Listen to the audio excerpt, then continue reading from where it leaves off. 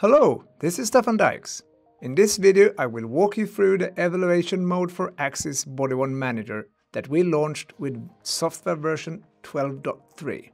If you want to try out the Body-Worn solution as a demo or proof of concept, you can now choose to set up the system in evaluation mode.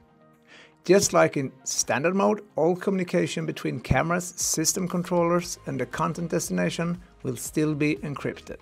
So why evaluation mode then? It makes it easier to reset cameras and controllers and minimizing the risk of failure at system setup. You can always access the system using the demo account if you have lost your admin password. When you create a new system, you get the option to choose evaluation mode. Going forward, the setup is performed just as in standard mode.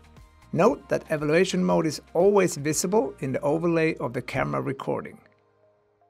You can't change the system that is in evaluation mode into standard mode. You must reset the system first. Recordings will be removed from the camera and system controller when performing a reset.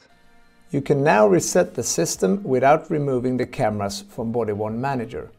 Undocked cameras won't be reset when you reset the system, but can now be reset manually. To reset an undocked camera, double press the power button to verify that the camera is in evaluation mode. The display text shows if the camera is in evaluation mode. On Axis W110, all LEDs flash amber. Evaluation mode. Within 7 seconds, double press the power button again to reset the camera. Important to know, if evaluation mode is not available at start of your system setup, the SCU is running an older software version. After upgrading to newer software than 12.2, you need to reset the system again and start over to get access to evaluation mode, since it's chosen in the beginning of a system setup. I hope you liked the benefit of evaluation mode and found this video useful.